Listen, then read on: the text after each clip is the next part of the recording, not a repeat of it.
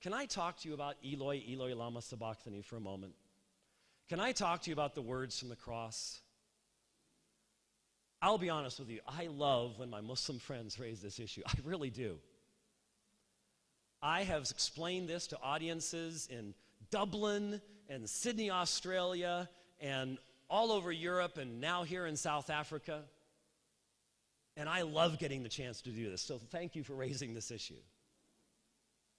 Eloi, Eloi, lama sabachthani. Jesus cried those words from the cross. Was he talking to himself? No. Anyone, when, when, when Mr. Kareem says, well, he's speaking to himself. Why have you abandoned, why have I abandoned myself? That's, again, that's not what Christians believe. We don't believe that Jesus is the Father. He's speaking to the Father. He was sent by the Father. Three persons, one God. All of them described as Yahweh.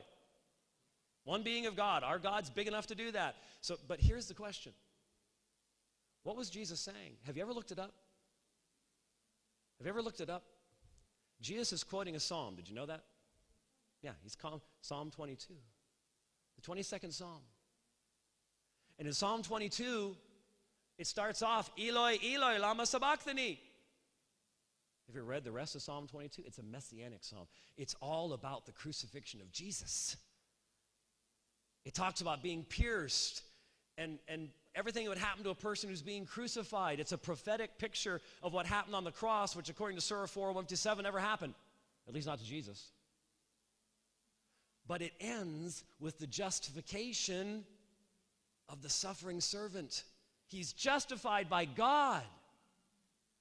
So, why does Jesus say it? He's not saying that God has abandoned him. When you start off with the first words of a famous hymn of your people, you're expecting your people to finish it out. We have a hymn called Amazing Grace. All I have to say to my people is, Amazing Grace, how sweet the sound. And I don't even have to finish it because they know all the rest of the song.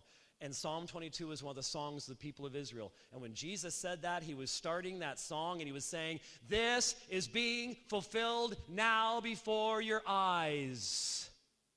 The Messiah has come, he's given his life, and he will be justified. He will be vindicated when he rises from the dead. That's what it's about. Look more closely. Look more deeply, and you'll find that the testimony is absolutely compelling. And I rejoice to have the opportunity of sharing this information with you this evening. Thank you very much.